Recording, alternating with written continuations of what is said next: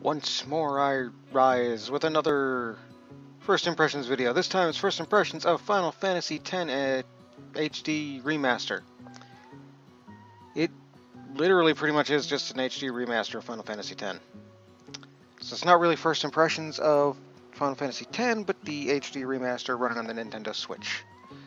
I will start off by saying that it does run handheld and docked just as smoothly as each other. They were, both work great. If you've played this before, it's the exact same game you remember, just up in HD. That was Yuna. I'll just smack something with her then. So, yeah. Pretty much everything you'd expect from Final Fantasy. Turn-based combat. Still looks good, still the same old cheesy voice acting. If you haven't played Final Fantasy before, turn-based combat, you level up your party. Certain enemies have a rock, paper, scissors thing going on with party members. Like Lulu's good against elementals. Auron and Kimahri are good against these little bastards. Lulu is a condescending turd during combat and just kind of irritates me. but yeah, you've got your standard turn-based combat. You can switch out characters on the fly, which is neat. Which was a nice addition in the Final Fantasy X. I'm not going to do first impressions on 10-2, which also came with the collection. You also have to swap your party members out if you want to get everybody uh, experience, or SP as it is in this one. So yeah, the rock, paper, scissors thing kind of is conducive to that, to a point, because eventually, eventually some characters get to the point where they're, they're good enough where you don't need to swap out anymore the textures, the HD remaster is really good looking. Like, I have zero problem with the graphics. The game runs great. So, yeah. Pretty standard Final Fantasy story, although a few more convolutions that you may not be expecting. which yeah, kind of, it's it's not bad. It got a maybe it may have had a bad rep at some point in time, but it's not bad.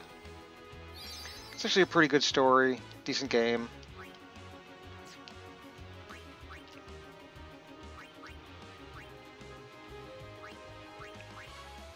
Some of the targeting can be a bit wonky, so if you're targeting things in game, you kind of want to be real careful about it.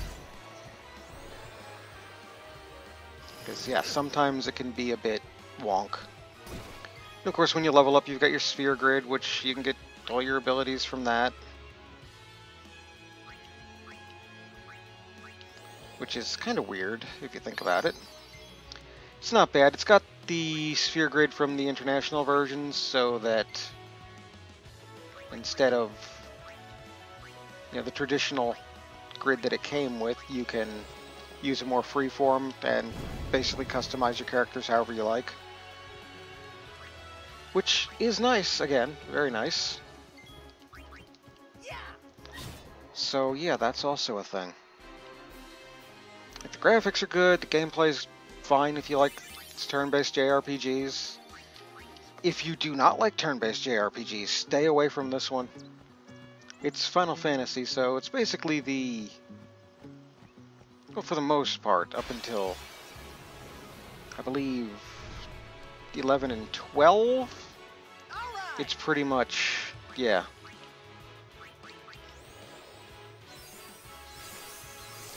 Pretty much the standard for Final Fantasy. So if you've played a Final Fantasy before, you know what you're getting into in terms of the combat system.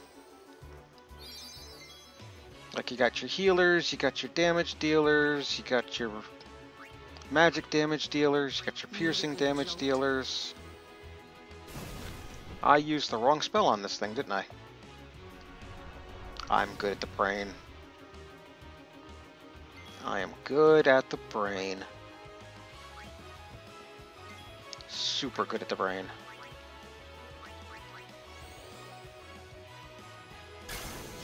So yeah, and as you level up on the sphere, sphere grid, your abilities get better, your stats get better. You get more HP, MP, defense, attack, or power, strength, magic power, all the good stuff. Why not?